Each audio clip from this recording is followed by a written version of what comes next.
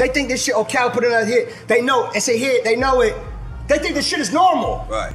It's not. That's why you can't do a Verzuz. You will smoke everybody in Verzuz. I, I'm saying. we got love every. I mean, that's facts. But no, no, no.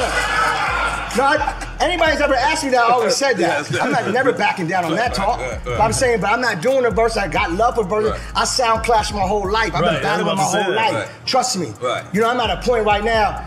You know, I'm blessed. Right. You blessed. You blessed. We all blessed. But when it come down to battle and Verzuz and all that, I'm more of a fan of it because I used to sound clash my whole life. Right.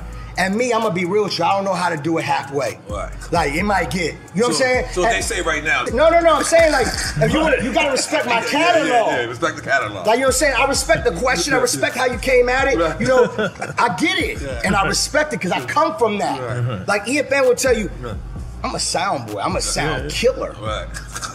No, I kill sound. We've seen it in Jamaica too. No, like, like I don't think you understand. Like it's that's what, how I came in the game. It's killing sound. Right, right. Like my, nobody's ever gave this shit to me. Like, oh Cal, here's a door open. Yo, we we want you to win. Right. That's real. Stop. Right.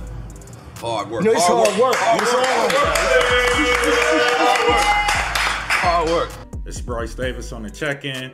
As y'all saw, DJ Khaled said he pretty much smoked anybody in the Verzuz, and I actually agree with him. It's not too many people that can go hit for hit with Khaled, especially DJs. I mean, to be honest with you, the only other DJ I can think of would be uh, DJ Drama, and we we know he probably doesn't have as many hits as Khaled, so that wouldn't really make sense.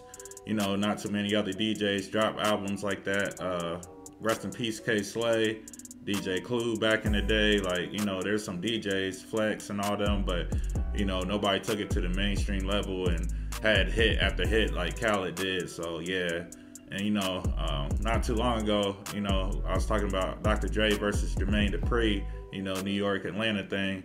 Um, now I think about it, I guess unless you want to put Khaled against a, a Diddy or something, you know, maybe that would make sense. A Jermaine Dupri, you know, on a producer level, level, excuse me, as far as like structuring songs and you know features, things like that. That might work out, but I don't know if we really want to see that. You know, if you think there's a better matchup, let me know. I can't really think of none. So if you like the video, make sure you like and subscribe.